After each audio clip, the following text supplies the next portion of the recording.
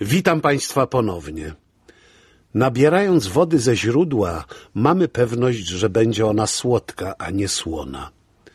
Ze słowami jest jednak inaczej.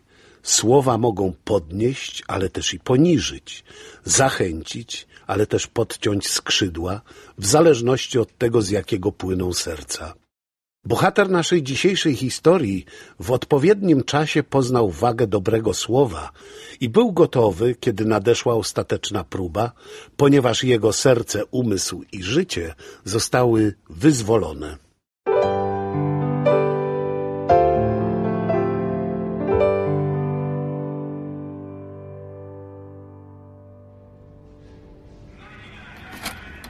Czemu? Czemu nie działa? Linka się zerwała! Hej! Hej! A! Co jest? Zatrzymać! Zatrzymać! Zatrzymać pociąg! Stój! Człowiek pod kołami, stój!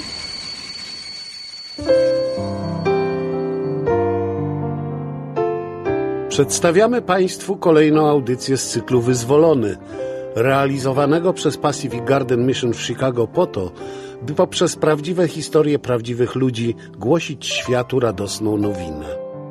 Żyją w miejscach, o których nawet byś nie pomyślał. W samochodach, piwnicach, na dworcach, sami albo w całych grupach, ale zawsze w niewyobrażalnej nędzy. Bezdomni, kiedy trafiają do Pacific Garden Mission, znajdują tu wszelką pomoc, pożywne posiłki, prysznic, czyste ubranie, pomoc medyczną i dentystyczną i wygodny nocleg, a nawet różnego rodzaju kursy i poradnictwo, które mają im pomóc powrócić do normalnego życia. Wszystko to za darmo, dzięki ludziom dobrej woli wspierającym nas finansowo oraz pracy wolontariuszy, którzy poświęcają swoją energię i czas. A robią to ze względu na tego, który jako jedyny może dać nowe życie każdemu, niezależnie od okoliczności. Misyjni duszpasterze i doradcy duchowi mówią bezdomnym o tym wspaniałym darze. Życie tych, którzy go przyjmują, zmienia się raz na zawsze. I o takich właśnie przemianach opowiadają nasze słuchowiska.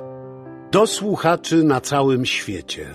Oto program numer 3048 z cyklu Wyzwolony. Audycja, która da Wam do myślenia. Panie Peterson, zaraz będziemy operować. Moje nogi. Proszę się nie martwić, damy panu środki znieczulające. Nie będzie pan nic czuł. Przykro mi, ale konieczna jest amputacja. Co? No nie ma innego wyjścia. Pańskie nogi są zupełnie zmiażdżone. Nie damy rady ich uratować. Proszę spróbować. To nie są moje nogi. Co? Należą do Boga, a On je potrzebuje. Jeśli zechce, może je uratować. Ufam, ufam mu, że je ocali. Podziwiam pańską wiarę, panie Peterson. Ale ja jestem lekarzem i wiem, że musimy je amputować. I nie możemy z tym zwlekać ani chwili. Jeszcze nie teraz, doktorze. To pańskie ostatnie słowo? Tak, Podejmuje pan fatalną decyzję. Może pana kosztować życie. niech pan robi wszystko, co możliwe. Dobrze, będę się starał, ale, ale to beznadziejna sprawa.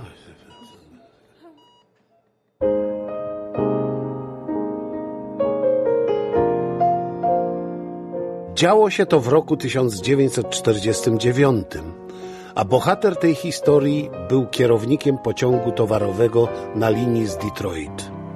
To opowieść o tym, w jaki sposób jego wypadek zmienił życie wielu innych. Prawdziwa historia Rudiego Petersona już teraz w Wyzwolonym.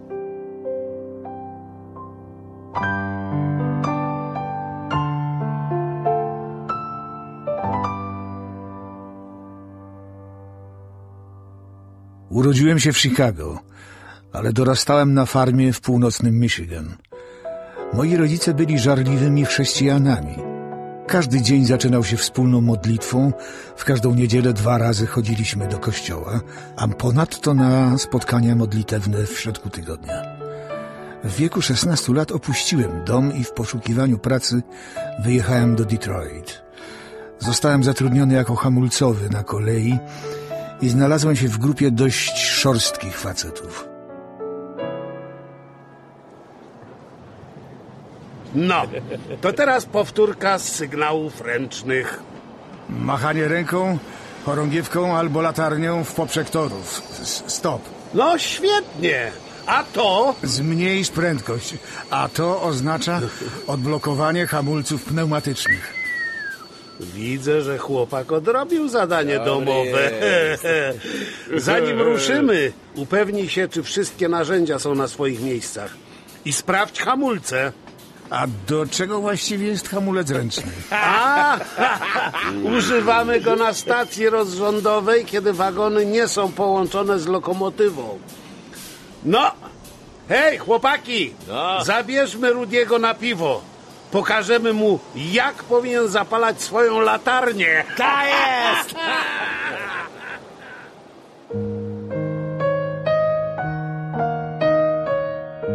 Przez jakiś czas trzymałem się z całą grupą, ale oni strasznie przeklinali. Rok później poślubiłem dziewczynę, z którą chodziłem do szkółki niedzielnej, kiedy jeszcze mieszkałem w domu. I urodzili się nam dwaj synowie. A potem nadszedł wielki kryzys i straciłem pracę na kolei. Kiedy człowiek staje się bezrobotnym, zaczyna zastanawiać się nad swoim życiem. Dzieci już śpią. Dobrze. W końcu mogę w spokoju poczytać. Biblię? Nie strony sportowe w gazecie? Tak, mama mi ją dała, kiedy wyjeżdżałem z domu. A co? Nie, nie, nic. Dziwię się tylko i tyle. Zastanawiam się ostatnio nad tym, w jaki sposób my żyjemy. W porównaniu z tym, jak żyli moi rodzice. Posłuchaj tego. Przywróć mi radość z wybawienia Twego i wesprzyj mnie duchem ochotczym. Przestępców będę nauczał dróg Twoich i grzesznicy nawrócą się do Ciebie. Przywróć mi radość z wybawienia Twego. To daje do myślenia, co? Pamiętasz, jak byliśmy dziećmi? To, że jesteśmy chrześcijanami, coś wtedy dla nas znaczyło. Tak. Wtedy to sprawiało, że mieliśmy w sobie radość. A teraz? Od dawna jej nie odczuwam. Ja też nie. No to wróćmy do tego i sprawdźmy, czy da się jeszcze odnaleźć. Jak? Przecież chodzimy do kościoła. Zobaczymy, co mówi na ten temat Biblia.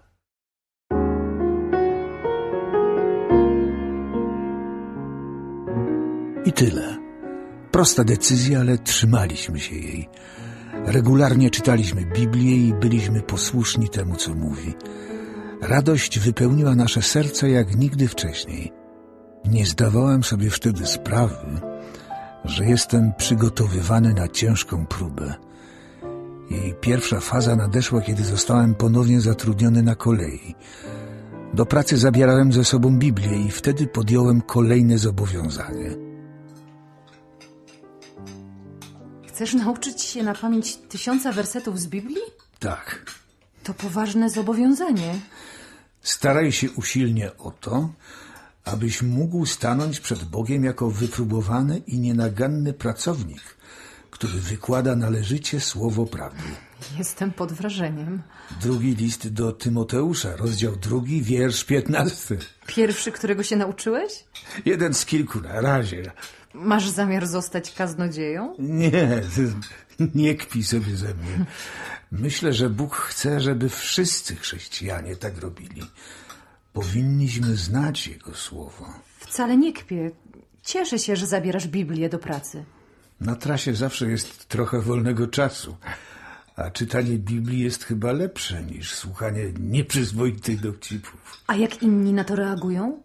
No, nabijają się, ale mnie to wcale nie rusza.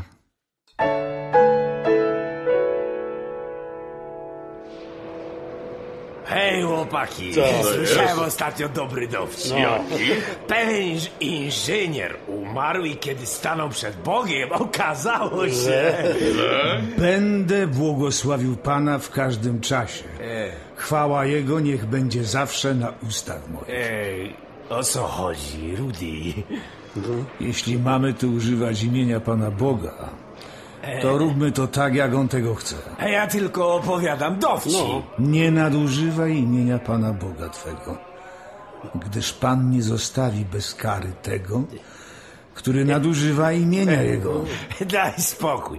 Jak mam opowiedzieć ten kawał, skoro cały czas mi utrudniasz, jak jakiś kaznodzieja? Nie mam nic przeciwko Twoim dowcipom, dopóki nie mieszasz do nich Pana Boga. Nie, czy ty nie przesadzasz z tą religią? Nie wydaje mi się. Biblia mówi, żebyśmy się bali Boga i nie używali Jego imienia nadaremnie. A ty myślisz, że Bóg słucha moich kabałów? Bóg stworzył ucho, więc jest oczywiste, że nas słyszy. On słyszy i wie wszystko. Czekaj, czekaj. Znasz taką starą historyjkę. Bóg wie, gdzie jesteś i co robisz. Ale jeśli dyspozytor nie wie, gdzie jesteś ani co robisz, lepiej, żebyś był w dobrych układach z Bogiem. Ja jestem w dobrych stosunkach z Bogiem. A jeśli wy też chcecie być, mogę wam powiedzieć, jak to zrobić.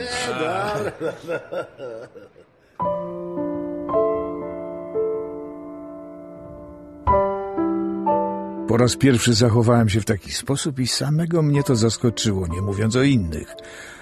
Ale dobrze się z tym czułem. Nikt też nie miał zamiaru dać mi za to po głowie.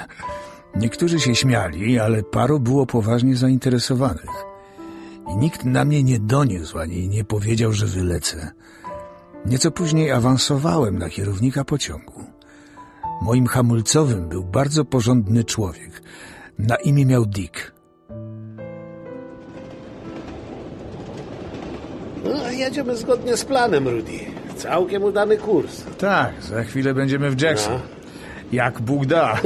Zabawny z ciebie gość, Rudy. Tak myślisz? No, wygląda na to, że według ciebie Bóg ma wszystko w ręku, nawet koleje. Bo tak jest. Biblia mówi, że on wie wszystko o tobie i o mnie i o tym pociągu. Nie, chodzę co tydzień do kościoła, ale nigdy nie słyszałem, żeby w Biblii było coś o pociągach towarowych. Jak to nie? Zaraz ci przeczytam. Ty, ty znasz ją chyba na pamięć, co? Chciałbym, ale tak dobrze to nie jest. No, o, Psalm 139. Panie, zbadałeś mnie i znasz. Ty wiesz, kiedy siedzę i kiedy wstaję. Rozumiesz myśl moją z daleka. Ty wyznaczasz mi drogę i spoczynek. Wiesz dobrze o wszystkich ścieżkach moich. Ty wierzysz, że to jest prawda, co? Oczywiście, że wierzę. Ja myślałem, że jestem religijny, ale nie mam takiej wiary jak ty. Skąd ty ją bierzesz? Biblia mówi, że wiara przychodzi ze słuchania, a słuchanie przez Słowo Boże. Tak po prostu. Takim razie... Czekaj chwilę. Pojawił się jakiś sygnał blokady. Sprawdźmy to. Jasne. Eee, wszystko w porządku, Rudy. Też mi na to wygląda. No, więc opowiedz mi więcej o tej swojej wierze. Dobrze, ale jak dojedziemy do Jackson, teraz będziemy mieli trochę roboty.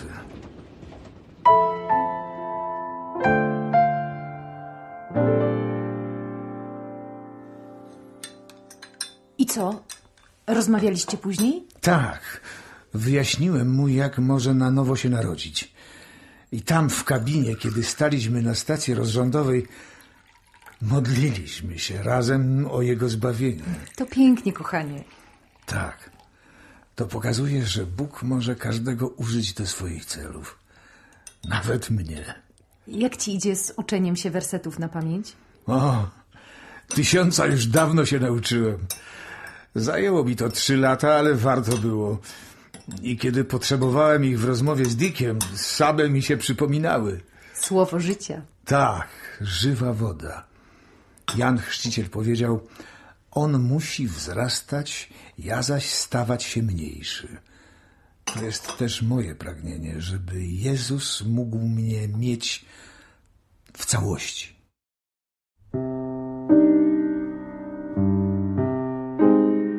Dziesięć dni po tej modlitwie wydarzył się wypadek. Na stacji rozrządowej w składzie pięciu wagonów próbowałem użyć hamulca ręcznego. Nagle wagony szarpnęły i wpadłem pod koła. W południe znalazłem się na stole operacyjnym w szpitalu Ann Arbor w Michigan. Niedługo potem przyjechała moja żona. Pani Peterson Tak. Co z moim mężem? Jest pod narkozą, zaraz zacznie się operacja. Potrzebna mi pani zgoda Na, na co? na amputację obu stóp. Nie. To absolutnie konieczne.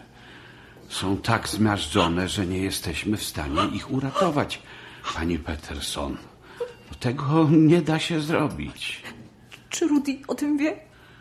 Tak, powiedziałem mu. I co on na to? Odmówił. Powiedział, że woli zaufać Bogu. Dlatego zwracam się do pani. No nie możemy dłużej czekać. Doktorze, jeżeli Rudy tak powiedział, to ma pan odpowiedź. Ja też zaufam Bogu. Nie będzie amputacji. Przecież Jesteście szaleni.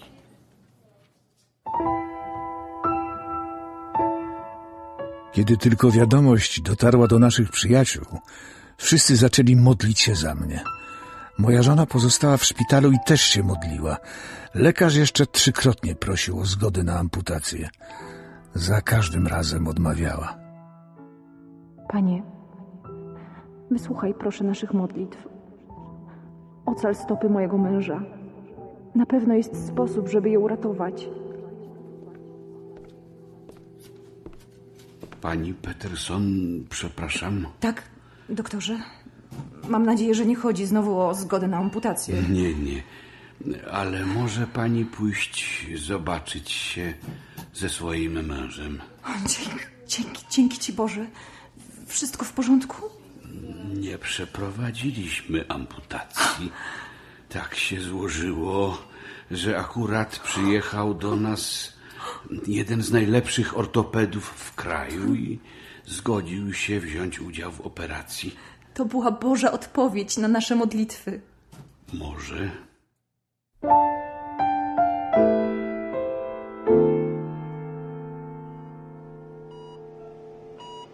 Panie Peterson, pewnie patrzy pan na te bandaże i zastanawia się, czy nadal ma pan swoje stopy.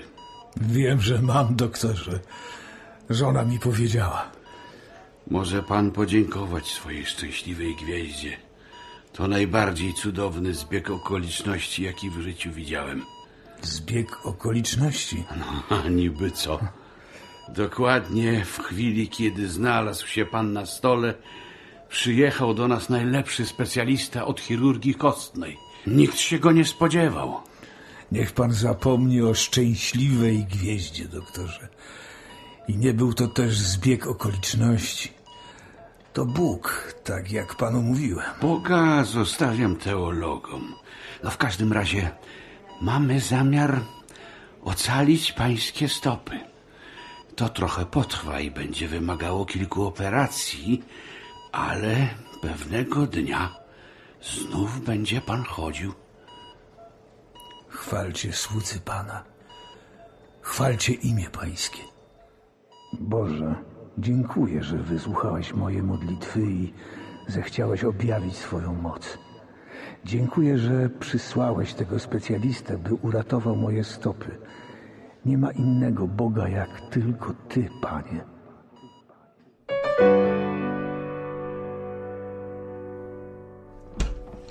Cześć, kochanie. Przyniosłam ci te dwa wersety, o które prosiłeś. Księga Przysłów, rozdział trzeci, wiersze piąty i szósty. I ten z Ewangelii Jana.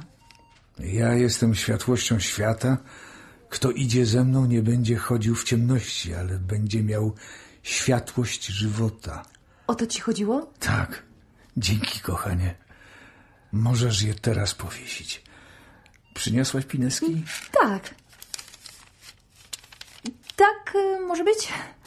Nie tak prosto. I- Jak to? Chciałbym, żeby były trochę przekrzywione. Dlaczego? Tylko wejdzie pielęgniarka albo sanitariusz, będą chcieli poprawić. A wtedy całkiem niechcący przeczytają, co tam jest napisane. I o to chodzi. Ale ty jesteś podstępny. Chcesz nawrócić cały szpital? Bóg położył mnie tu chyba z jakiegoś powodu, kochanie. Czy Biblia nie mówi, przeto wydam cały ten ogromny tłum w Twoją rękę i poznacie, żem ja Pan.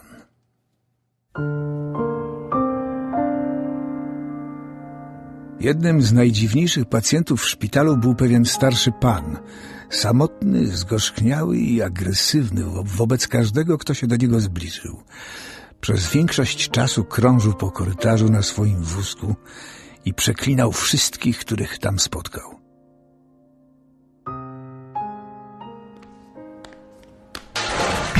Patrz, jak idziesz, idioto. Bardzo pana przepraszam, Bardzo pana przepraszam, przepraszam. Co mi po twoich przeprosinach? ale ja naprawdę bar bardzo mi Ty, przykro. bardzo mi przykro, bardzo mi przykro. Przykro to ci będzie, jak ja wpakuję się w ciebie moim wózkiem.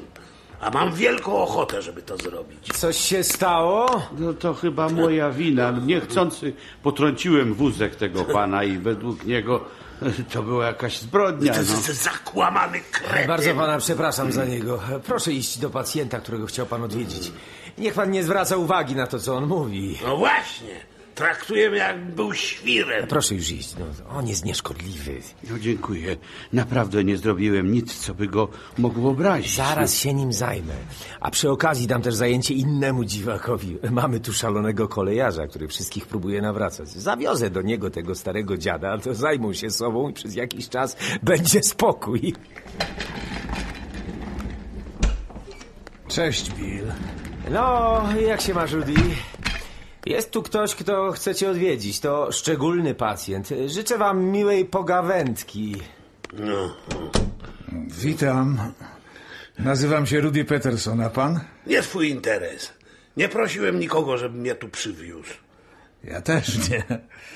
Ale widocznie Bóg ma inne zamiary. Tak, tak, tak ci się wydaje? Tak? Mm, Biblia mówi, gdyż ja wiem, jakie myśli mam o was, mówi Pan. Myśli o pokoju, nie o niedoli, by zgotować wam przyszłość i natchnąć nadzieję. Zgotować przyszłość. Usadzić na wózku.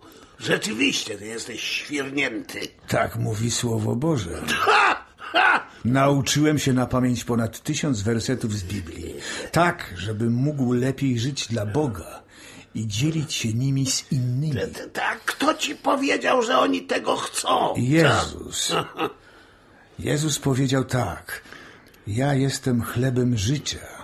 Kto przychodzi do mnie, nigdy łaknąć nie będzie, a kto wierzy we mnie, nigdy pragnąć nie będzie. Znasz Boga? Na tyle, żeby wiedzieć, że on się mną nie, nie, nie przejmuje. Jezus cię kocha. On umarł na krzyżu za twoje grzechy, żebyś ty mógł mieć nowe życie już tu na ziemi, a potem zamiast w piekle spędzić wieczność w niebie. Nie wierzę w piekło. Może sobie wierzyć albo nie, ale nie zmienia to faktu, że ono istnieje. Powinieneś żałować za swoje grzechy i prosić Jezusa, żeby cię zbawił. I On to uczyni. On da ci nowe życie i nowe serce.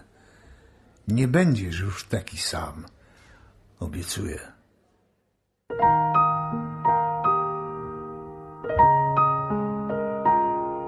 Rozmawialiśmy godzinę i ostatecznie książę pokoju zmiękczył jego serce.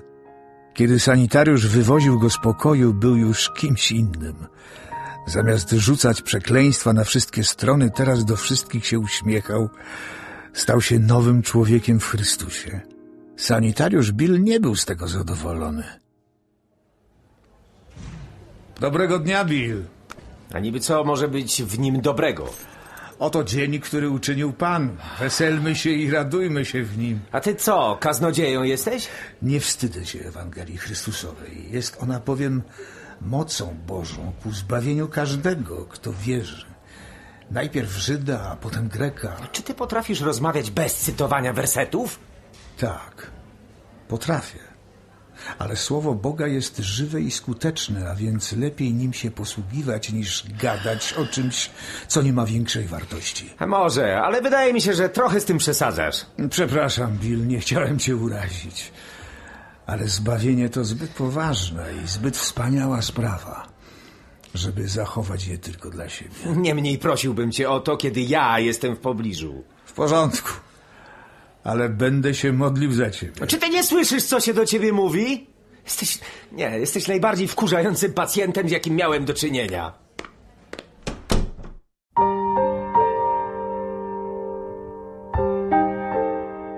Trwało to przez dłuższy czas.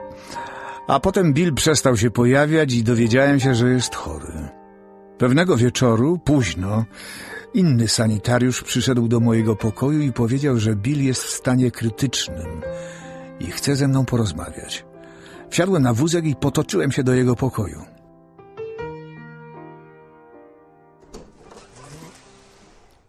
To ja, Bill. Rudy Peterson. Co mogę dla ciebie zrobić, Bill? Chcę, żebyś się za mnie pomodlił. Cały czas modlę się za ciebie. Ale to jeszcze nie wszystko. Ja.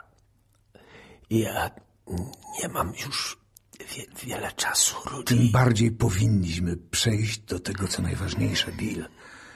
Pamiętasz, co Jezus powiedział Łotrowi na krzyżu? Nie. Dziś będziesz ze mną w raju. Wiesz dlaczego, Bill? Ponieważ ten bandzior wiedział, że zrobił źle. Wiedział, że jest grzesznikiem. I przyznał, że zasłużył na karę. To jest pierwszy krok. A co z tobą, Bill? Ja, ja też jestem grzesznikiem, Rudy. To po pierwsze. A po drugie, on uwierzył w Jezusa. Powiedział, Panie, wspomnij na mnie, jak wejdziesz do królestwa swojego. On uznał Jezusa za swojego Pana i Zbawiciela. Ja też, Rudy. Ja też go uznaję. To pomódlmy się razem.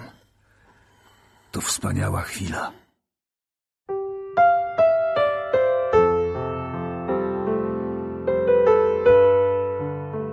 Byli też inni, ale ci dwaj szczególnie wyryli się w moją pamięć podczas tych 107 dni pobytu w szpitalu. Dzięki leczeniu i działaniu uzdrawiającej Bożej mocy stanąłem z powrotem na nogach. Z czasem wróciłem do pracy jako konduktor w pociągach pasażerskich kursujących pomiędzy Detroit a Chicago. Jak ci się podoba trasa do Chicago? Bardzo. Ostatnim razem poszedłem do Pacific Garden Mission i opowiedziałem tam swoją historię. To oni nadal działają? Tak, tak. To dzisiaj najstarsza misja charytatywna w kraju. Chcieliby nagrać moje świadectwo do wyzwolonego. Naprawdę? To wspaniale. No, byłaby kolejna okazja, żeby opowiedzieć innym o tym, co Bóg dla nas uczynił. Niech mówią odkupieni przez Pana, ci, których wyzwolił z ręki nieprzyjaciela.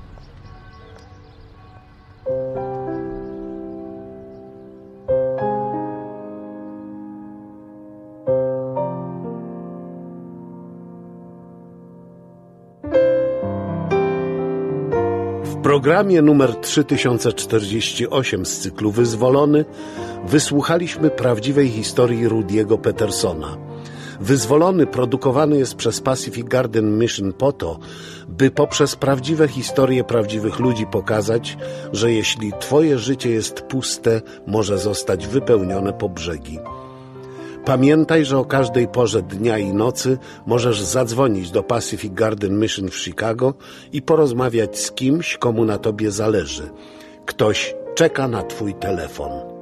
Jeśli zainteresował cię nasz program, skontaktuj się z nami. Zaglądnij do internetu na stronę www.szukającboga.pl. Tam znajdziesz formularz kontaktowy, na pewno odpowiemy. Adres dla słuchaczy w Stanach Zjednoczonych. Pacific Garden Mission 646 South State Street, Chicago, Illinois 6605. Telefon 312 922 14 62.